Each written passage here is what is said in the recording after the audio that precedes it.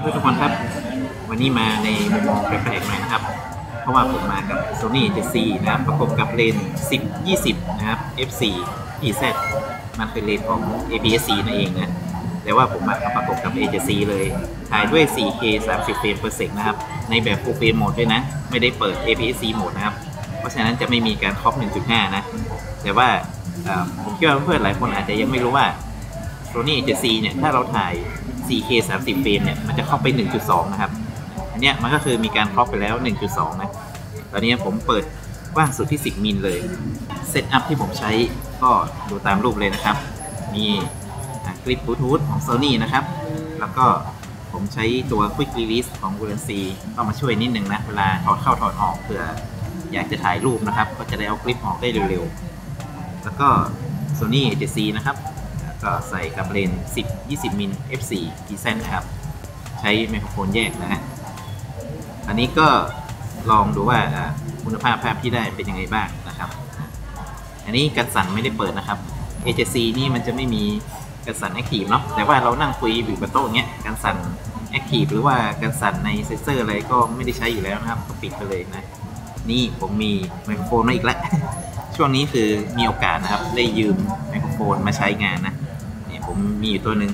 มันเป็นไวเลสไมโครโฟนนะครับ ที่ราคาแบบหนึ่งพันต้นๆนะฮะถ้าเกิดว่าใครมีโค้ดในช้อปปิ้งออนไลน์ก็ลดไปอีกเยอะเลยนะมันคือเจ้าตัวนี้ฮะนี่โบย่า M1V นะครับ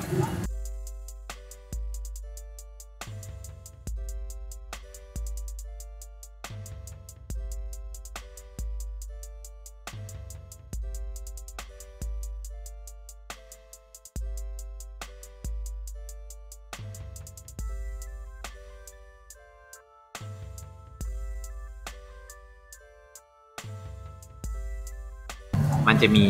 อยู่ทั้งหมด 3 เซตนะครับ อันนี้เซตที่ผมยืมมานะครับ ก็จะเป็นเซตของอหัว 3.5 นั่นเองนะฮะแล้วก็มันจะมี 2 เซตก็คือ แทนที่จะเป็นตัว 3.5 ตัวนี้นะครับ ก็จะเป็นตัว Type C นะกับอีกตัวหนึ่งก็คือเป็นตัว Lightning นั่นเองนะครับอันนั้นก็จะเสียบตรงเข้ากับมือถือเราได้เลยนะครับ ไม่ต้องใช้สายแปลงนะแต่ว่าเนี่ยที่ผมยืมเข้ามาเนี่ยคือเขาซื้อมาใช้กับกล้องถ่ายรูปนั่นเองนะครับ ก็เลยต้องใช้แบบ 3.5 เนี่ย จริงแล้วนะฮะ ตัวของ 3.5 เนี่ย มันก็ดีนะ คือ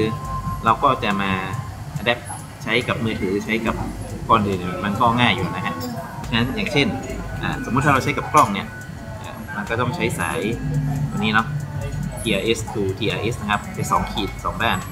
นะด้านหนึ่งเสียบเข้าตัวรับ ด้านหนึ่งเสียบเข้ากล้องจึ๊กนะฮะ ตัวนี้ก็เน็บไปที่คอเราไว้พูดนะครับอันนี้เน็บไว้อย่างนี้แล้วกันก็หนีบเน็บไว้นะครับ ตัวนี้เราก็ไปซื้อสายแปลงมาครับอย่างผมจะใช้ไทซีใช่ไหมผมก็ไปซื้อสายอย่างนี้มา ก็เป็นสายไทซีข้างหนึ่ง3.5 ข้างหนึ่งนะครับหรือใครจะซื้อตามผมก็ได้นะสลามอนิกรหัสตามนี้เลยนะฮะก็แค่นี้เองเส้นบางๆแค่นี้ เวลาจะใช้ก็ สียบ 3.5 เข้าแค่นี้เองครับ เราก็เอาอันนี้ไปเสียบเข้าโทรศัพท์ เข้า iPad ที่เป็น Type C อะไรเงี้ยก็ได้นะหรือว่าก็ใช้สาย TRS ข้างหนึ่งแล้วก็ TRS ข้างหนึ่งนะครับ เอา TRS นะข้างที่เป็น2ขีด เสียบเข้าไมค์ยึบนะแล้ว3ขีดเนี่ยก็เสียบเข้ามือถือรุ่นเก่าใช่ไหมที่มี 3.5 อยู่ แต่ถ้าไม่มี ก็ต้องซื้ออะแดปเตอร์แปลงอีก อย่างเช่น iPhone ก็ใช้หางงูมันนะครับหรือถ้าเป็น Type C ก็หางงู Type C ก็เสียบในด้าน3ขีดเข้าไปแล้วก็ใช้อีกทีหนึ่งนะครับ ง่ายๆ โอเค ตัวนี้อพอดีผมยืมเข้ามาแบบเปลือยๆอย่างนี้เลยนะฮะนะผมก็ไม่รู้ว่าในแพ็กเกจมันมีอะไรยังไงให้บ้างนะครับ ก็ไปถามผู้ขายเอาอีกทีหนึ่งแล้วกันนะ หลักๆนะมันมีปุ่มเปิดปิดเครื่องนะครับ เปิดปิดเครื่องแล้วก็ปุ่มนิ้วปุ่มเดียวกันเลยนะครับ แล้วก็อันนี้เป็นโมโนกับสเตอริโอนะครับ ถ้าเกิดว่ามี 2 ตัวส่งเราก็เลือกได้ว่าเราจะเอาเสียงโมโนหรือสเตอริโอนะครับ ข้างล่างก็เป็นหูฟังนะได้สีก็ไว้ชาร์จไฟเข้านะครับ อันนี้ส่วนของตัวรับสัญญาณนะครับ ส่วนตัวส่ง ก็ตัวนี้สวิตช์ปิดเปิดกับปุ่ม mute เหมือนกันนะครับ แล้วก็เร่งลดเสียง ล่างชาร์จไฟ Type C นะครับ แล้วก็ตัวนี้เป็นปุ่ม NR นะ Noise Reduction นั่นเอง เดี๋ยวลองดูแล้วกันนะเดี๋ยวผมจะลองกับ IC ก่อนแล้วกันนะครับ วิธีใช้งานก็เมื่อกี้เนาะผมเอาสายนี้เอาสาย 3.5 ข้างนี้ต่อนะครับ แล้วก็อันนี้ได้ C ต่อเข้าโทรศัพท์ กดค้างก่อนแล้วกันนะครับ ทั้งคู่เลย ระพริบเป็นสีฟ้าแป๊บเดียว ถ้าหยุดกระพริบก็แปลว่าจับคู่กันละแค่นี้เลยครับ แล้วก็อ๋อตัวนี้มันเป็นไฟสีเขียว เพราะว่ามันผมมาเปิดไอตัว NR ทิ้งไว้นะครับ ถ้ากดปุ่ม NR หนึ่งครั้งนะ ปุ่ม NR ปุ่มสีดำและข้างนี้นะฮะ กดหนึ่งครั้งกลายเป็นสีฟ้านะครับ เสียงปกติ กดหนึ่งครั้ง เป็นสีเขียวเพื่อตัดเสียงรบกวน กดหนึ่งครั้ง เป็นสีฟ้ากลับมาเป็นปกติ เคครับ เดี๋ยวค่อยลองกันแล้วกันนะเอาละเดี๋ยวลองไปดูภาพและเสียงที่ได้จากมือถือนะครับอ่านี่เป็น Type C นะครับผมวันนี้ผมใช้ Samsung S23 Ultra นะครับ ในการเช็ดวิดีโอ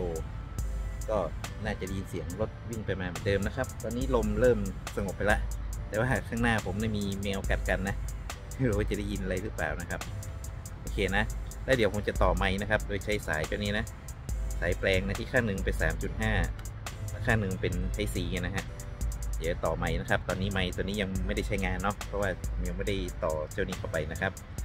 โอเค เดี๋ยวต่อไม้สักครู่ครับตอนนี้ต่อไม้แยกแล้วนะครับนี่นะฮะเนี่ยไฟเป็นสีฟ้านะครับกำลังเปิดใช้งานอยู่เลยนะ เดี๋ยวผมจะลองหลีเสียงก่อนนะครับลดลงลดลง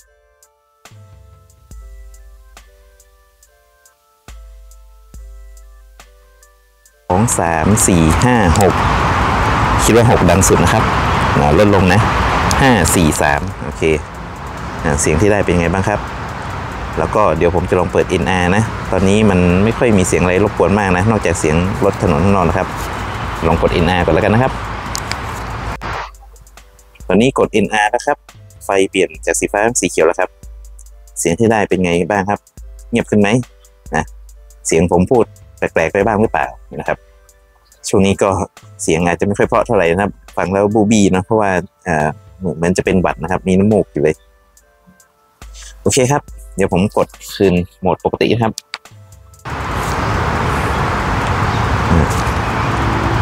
ตอนนี้เป็นไฟสีฟ้าแล้วนะครับ เข้าสู่โหมดปกติแล้วนะครับนะเสียงที่ได้เป็นยังไงบ้างครับ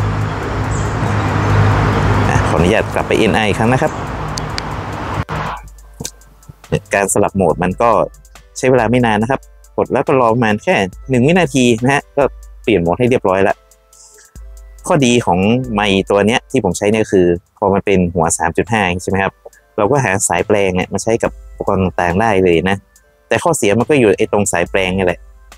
ลืมหยิบมาบ้างนะครับ หยิบผิดบ้าง สายชำรุดบ้างนะครับสำหรับใครที่คิดว่ายังไงก็ใช้แต่กับอุปกรณ์ที่เป็นไทซีอยู่แล้วเนี่ย ก็ซื้อรุ่นที่มันเป็นหัวไทซีไปเลยครับ ตัดปัญหาไปเลยนะ หรือใครใช้ iPhone หัวไลนิ่งอยู่แล้วเนี่ยนะฮะ ก็อยากจะใช้แค่กับ iPhone เนี่ยก็ไม่สนใจไม่ใช้ก็ซื้อหัวไลนิ่งไปเลยก็ได้ครับ ก็สะดวกดีเนาะไม่ต้องมากังวลคอยหาสายหาอะไรมาต่อมาแปลงอะไรให้มันยุ่งยากนะครับ แล้วก็อาจจะไม่ได้งานก็เพราะไอ้สายพวกนี้ด้วยเหมือนกันนะครับผมครับ ก็หวังว่าเพื่อนๆคงจะชอบนะครับ เจ้าไม้ตัวนี้นะครับโบย่า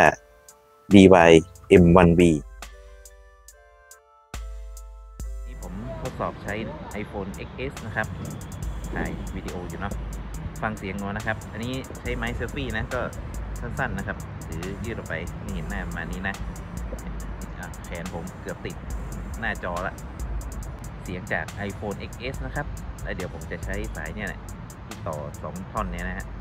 ต่อเข้ากับไมค์แล้วลองฟังเสียงเทียบกันดูนะครับ นี่ผมต่อไมค์เข้าไปแล้วนะครับนี่ อันนี้ยังเป็นโหมดปกติอยู่นะครับ ไฟสีฟ้านะ เป็นยังไงบ้างครับ อันนี้ข้างหน้าผมนี่เป็นถนนใหญ่นะ ได้ยินเสียงรถวิ่งไปมาหรือเปล่านะครับ แล้วก็ช่วงนี้ลมกำลังพัดเลยนะดูใบไม้ข้างหลังก็ได้นะฮะน่าจะมีเสียงลมเสียงสภาพแวดล้อมบ้างเอาละเดี๋ยวผมจะลองหลีเสียงก่อนนะครับเนี่ยกดลงนะ